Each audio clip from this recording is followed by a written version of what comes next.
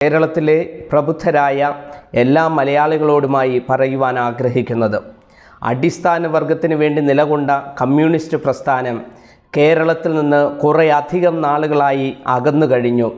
മനുഷ്യന്റെ നെഞ്ചത്ത് ആണിയടിക്കുന്ന കേരയിൽ തീരദേശ ജനതയെ ഉന്മൂലനം ചെയ്യുന്ന അശാസ്ത്രീയ തുറമുഖ നിർമ്മാണം പശ്ചിമഘട്ട മലനിരകൾ ഇല്ലാതാക്കി മലയോര മേഖലയിലെ സാധാരണ മനുഷ്യരെ ഇല്ലാതാക്കൽ മുതലായ പ്രവർത്തനങ്ങൾ അടിസ്ഥാന വർഗത്തെ പാടെ ഭൂമിയിൽ നിന്ന് തുടച്ചു നീക്കി കോർപ്പറേറ്റുകൾക്ക് തീരെഴുതി നൽകുന്ന നവീന കമ്മ്യൂണിസ്റ്റ് മാതൃക. ഇത്തരം മാതൃകകൾ കമ്മ്യൂണിസ്റ്റ് പ്രസ്ഥാനത്തിന് ചേർന്നതല്ല. മനുഷ്യന്റെ അടിസ്ഥാന ആവശ്യങ്ങളായ ഭക്ഷണം വസ്ത്രം പാർപ്പിടം എന്നിവയ്ക്ക് പ്രാധാന്യം നൽകുന്ന ഒരു ഭരണകൂടത്തെ ഇന്ന് കേരളത്തിലെ ഓരോ മനുഷ്യനും ആഗ്രഹിക്കുന്നു.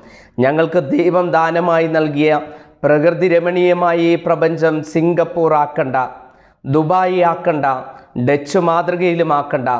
ഞങ്ങൾക്ക് ഞങ്ങളുടെ കേരളത്തെ തിരിച്ചു തന്നാൽ മതി. ഇതോരോ കേരളീയന്റെയും ആഗ്രഹമാണ്.